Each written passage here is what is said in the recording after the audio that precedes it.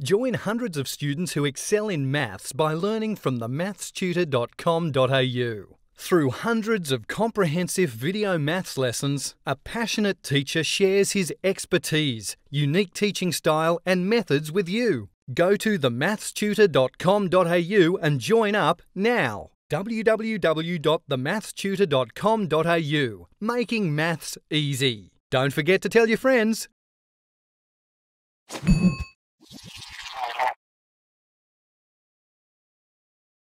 Hey guys, we're going to learn about probability.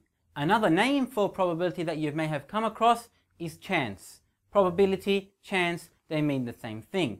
So what does chance or probability mean? Let us find out.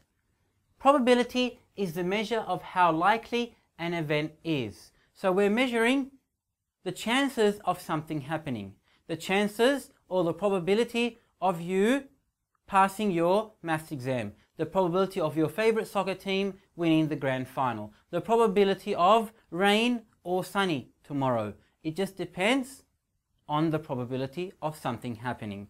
Let us look at the line, the scale that we use when we're measuring probability. We can see that this scale starts from 0 and ends at 1. 1 meaning 100%. 0, we refer to it as nothing, as in it is impossible for that event to happen. It is impossible. So zero, there's no way it's going to happen. An example of that would be a human living without oxygen. It is an impossible event for that to happen, for a human to live without oxygen. So we say it is impossible. The chances are zero. Then on the other side of the scale we have 1. 1 meaning 100%, which is certain that an event is certainly going to happen. It is for sure going to happen, 100%. We have these two ends in the scale. Impossible is 0 and 1 right at the end is 100%, it is certain. So in between we, ha we have as well some measurements. right in the middle we have an even chance. Even chance meaning 50%. 50% meaning it can be one or the other. It has an even chance of happening. So we say it is an even chance, it is 50%.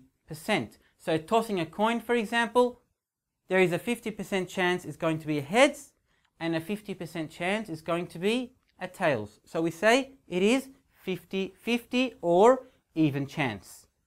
Then we have from 0 to 50% or 0 to 0.5, which is the same as 50%, is unlikely, meaning it is less than half.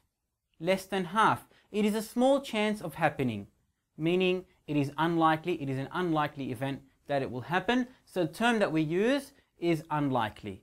That event most likely will not happen because it is less than half, less than 50%, between 0 and 50%.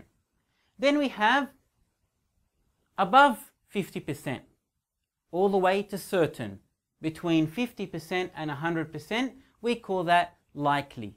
Likely meaning it has a high chance of happening, a high probability of happening. It's very important that we understand this scale. It starts from zero, impossible. It goes up unlikely all the way to even chance. And then it goes up likely of a chance or of an event happening up to 100% certain where it is certain that that event will occur. Let us look at some more theory.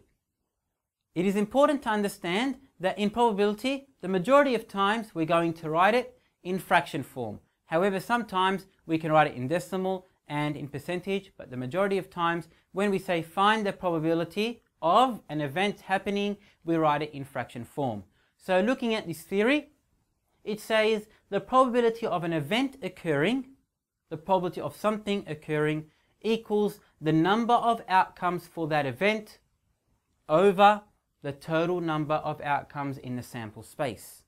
Now that's a lot of words, it can be technical. With a bit of examples, you're going to see how easy it is. All it's saying is that the number of outcomes in that event is divided by the number of outcomes in the sample space. What is sample space? meaning the total events that are there, and the outcomes that we're looking for over the total, that is the probability of that event happening. Now, the theory may be confusing.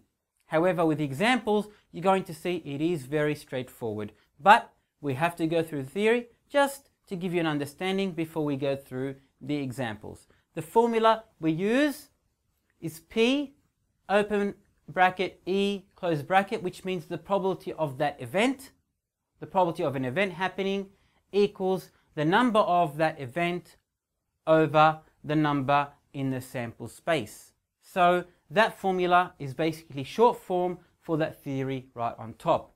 Now, let's do examples. It will make your life much easier. You understand it and you'll notice it is very easy.